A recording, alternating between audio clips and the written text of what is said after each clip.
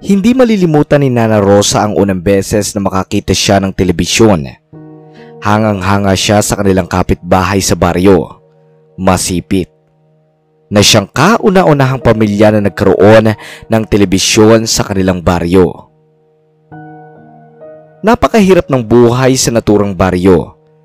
Karamihan sa kanila ay pagsasaka ang ikinabubuhay. Walang panahon ng mga tao upang manood ng mga palabas sa telebisyon at wala rin naman kasing pambili nito.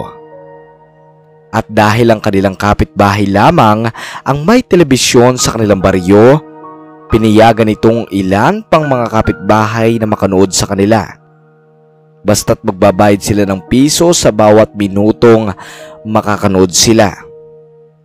Kaya kung ano ang paborito mong drama ay isang oras maganda ka ng 60 pesos.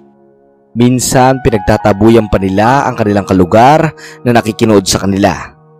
Subalit wala namang pambayad. Hindi naman makatarungan iyon. Kaya nga kami nagpapabayad para kami ay kumita. Kung wala kang pambayad, huwag kang makinood. Pabalang nasabi ng kapitbahay na iyon. Narinig iyon ni Nana. Ni Nana Rosa na mag-isa lamang sa buhay. Itinaga niya sa bato na kahit gustong gusto niyang makinood, hinding hindi niya gagawin. Sa halip na magbayad ng piso sa bawat minutong panonood, naisip na lamang ni Nana Rosa na ipunin na lamang ito at bumili sa bayan ng sariling telebisyon. Ngunit laki ang mga mata ni Nana Rosa nang malaman ang presyo ng isang maliit na analog na telebisyon. Ito ang uri ng telebisyon na may antena pa at may picture tube sa likuran. Dalawang libong piso iyon, nanay. Sagot sa kanya ng tindera. Naku, masyado namang mahal ining, sad naman ni Nana Rosa. Mura na po yan. Sasad na sasad na nga ho ang presyo. Hindi na po kasi uso ang ganyang TV LED at LCD TV na po ang uso ngayon. Paliwanag ng tindera. Ano ba yun? Takang tanong naman ni Nana Rosa. Itinuro ng tindera ang isang maliit na uri nito. Ang isa pong iyan na maliit ay 12,000 pesos po. Sus Mariosep, ang mahal naman pala. Ayos na sa akin ang mga makalumang bersyon. Sige, pag-iipunan ko ang 2,000 piso na iyan. Sana huwag mo na iyong ibenta. Pakiusap ni Nana Rosa. Hindi niya alam kung narinig o napakinggan pa ito ng tindera dahil may mga dumating na mga customer na kailangan niyang i-assist. Kaya naman lalong nagsumikap sa kanyang pagsasaka si Nana Rosa. Nais niya talaga makabili ng sariling telebisyon para naman may mapaglibangan siya. Bagot na bagot na siya sa bahay. Bagot na bagot na siya sa buhay. Na makaipon siya ng 2,000 piso matapos ang ilang buwan, agad na siyang nagtungo sa bilihan ng telebisyon Subalit laking gulat niya nang malaman niyang wala na pala ang mga analog na telebisyon na nais niyang bilhin. Nasaan ang mga telebisyon na ordinaryo lang? Ining, tanong ni Nana Rosa sa tindera. Ay nako ma'am, paumanhin po, na face out na po kasi ang mga iyon. Hindi na po nabibili, hindi na po kasi ulit uso iyon. Sagot naman ng tindera. Para naman pinagbagsakan ng langit at lupa ang pakiramdam ni Nana Rosa. Pinag-ipunan pa man niya ang mga pambili ng ordinaryong telebisyon para naman kahit papaano ay meron siyang mapaglibangan. Magkano nga ulit iyong pinakamura doon sa mas makabagong telebisyon? Tanong naman ni Nana Rosa sa tindera. Mga nasa 12,000 peso po. Kakayanin po ba ninyo? Tanong ito.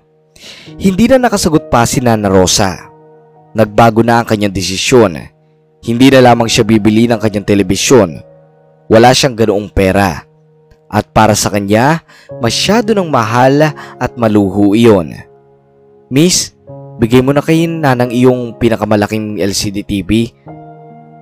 Parehong napalingon naman si Nana Rosa at ang tindera sa nagsalitang lalaki mula sa kanilang likuran. Ako na pong bahala nang huwag na po ninyong intindihin ang gastusin. Natuwa lang po ako sa inyo. Nakangiting saad ng di nakikilalang lalaki. Maraming maraming salamat, iho. Napakabuti ng puso mo. Pagpalain ka ng Panginoon. Pasasalamat ni Nana Rosa sa estrangherong lalaki. Mangyak-ngyak si Nana Rosa na matanggap ang telebisyon na inaasam-asam niya. Hindi siya makapaniwala na may isang estranghero na tutulong sa kanya upang maabot ang kanyang munting kagustuhan magkaroon ng telebisyon. Kaya naman, sikat na sikat si Nana Rosa sa kanilang lugar dahil mas maganda ang TV niya kaysa sa kanyang kapitbahay. Masayang masaya siya at nalilibang sa kanyang panonood matapos ang kanyang maghapong paggawa sa bukid. Ang kinaiba niya ay pinapayagan niyang makinood ang iba niyang mga kapitbahay ng libre iyon ang naging paraan niya upang ibalik ang kabutihang natamo niya mula sa iba. Nagpapasalamat naman ang kanyang mga kapitbahay sa kanya dahil kahit papaano ay eh natutulungan niya mga ito na malimutan ang pagod sa maghapong gawa sa bukid. Alam niya kung paano at kung gaano kahirap ang trabaho at gusto niya makapag-share ng isang blessing sa kanyang mga kapwa.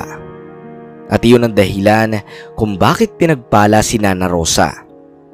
Meron siyang mabuting puso at alam ng Diyos ang kanyang gagawin kung sakaling makamit niya ang kanyang kagustuhan. Alam ng Diyos na tutulong siya sa kapwa.